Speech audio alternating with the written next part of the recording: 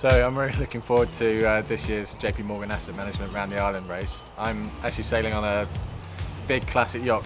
It'll certainly be fantastic uh, to sail on such a beautiful boat. So I'm really, really excited this year to be starting the JP Morgan Asset Management Round the Island race. Um, very excited about setting the cannon off uh, to start the race. So yeah, it should be good. So last year was the first round the island racing that, that, I've done and it was a pretty epic forecast and I was on a J109 with Paul and some uh, Volvo guests.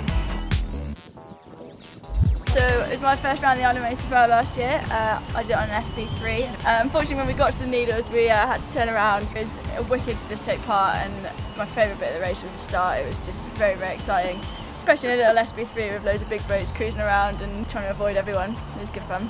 So I guess in tips for around the island, one that I usually struggle with is uh, is definitely to try and get an early night the uh, the night before. It is it is a long day and it's uh, it's pretty tough getting uh, woken up at half three in the morning if you don't go to bed till 12. So um, definitely try and get an early night.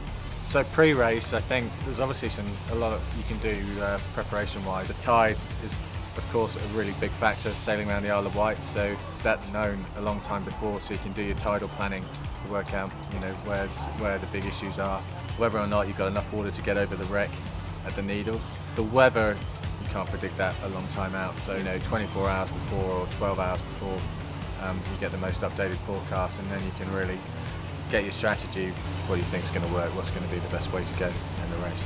I guess the start of the race is probably the most tricky part of the race. It's uh, it's very congested as you can guess with, with so many boats of, of different sizes. The best tips for the start is probably to work out which end is the, is the favoured end and and then what your strategy is going to be going down the uh, down towards the needles. It's just, just keeping your eyes open, being very aware of uh, the boats around you and how fast they are so you can uh, plot your route down to the needles. So you could be out there for seven hours or more.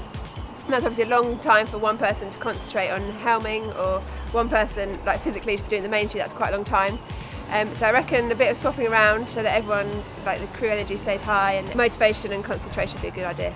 It's, uh, it's obviously quite a long race and I guess when you leave at four, five in the morning from the dock, it's usually pretty cold and, and sometimes wet and miserable. So I guess dressing warm enough for that part of the race, but then also remembering that it's uh, it is a long race and you are out there on the water for uh, for quite a long time. So I guess sun cream is uh, is pretty important. Yeah, I think the trickiest part of the race, uh, from, in my experience, is St Catherine's Point.